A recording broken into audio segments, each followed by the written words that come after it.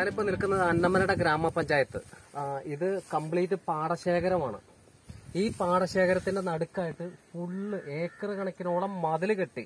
ഈ ചുറ്റും മതിൽ കെട്ടിയിട്ട് മണ്ണടിച്ച് നികത്തിക്കൊണ്ടിരിക്കുന്ന ഇതാണ് ഒരു ഒരു സെന്റ് രണ്ട് സെന്റ് അല്ല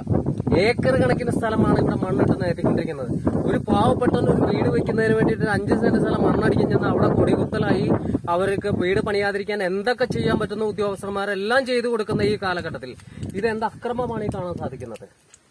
ഇത് അന്നമരട ഗ്രാമപഞ്ചായത്തിന്റെ കീഴിലാണ് ഈ സംഭവം നടക്കുന്നത് ഇത് കുറച്ച് സ്ഥലമല്ല ഏക്കർ കണക്കിന് കൃഷിഭൂമിയാണ് നയത്തിക്കൊണ്ടിരിക്കുന്നത്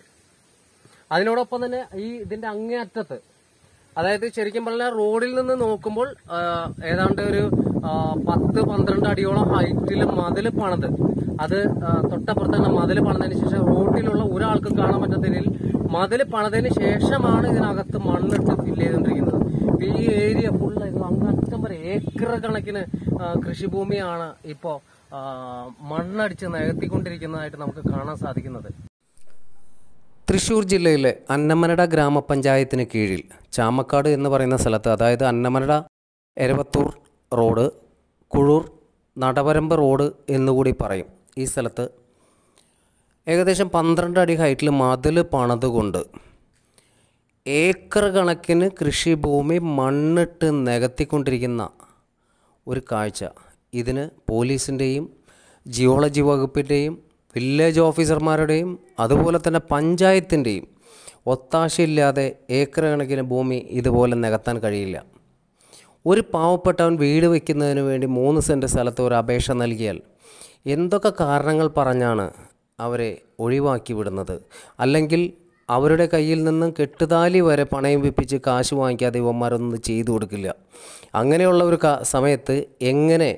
ഇത്രയും ഭൂമി നികത്താൻ കഴിയുന്നു എന്ന് പൊതുജനങ്ങൾ മനസ്സിലാക്കണം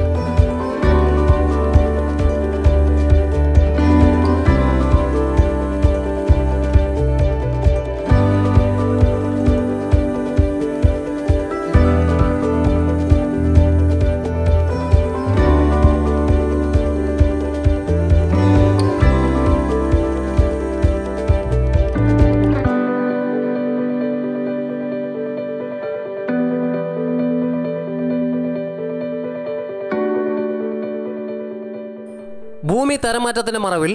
ഏക്കർ കണക്കിന് പാടശേഖരങ്ങൾ ഇതുപോലെ നികത്തിയെടുക്കുന്നത് സർക്കാർ ഉദ്യോഗസ്ഥരുടെ ഒത്താശയോട് കൂടിയല്ലേ നമുക്ക് ബന്ധപ്പെട്ട സർക്കാർ അധികാരികളോട് തന്നെ നമുക്ക് നേരിട്ട് ചോദിച്ച് മനസ്സിലാക്കാം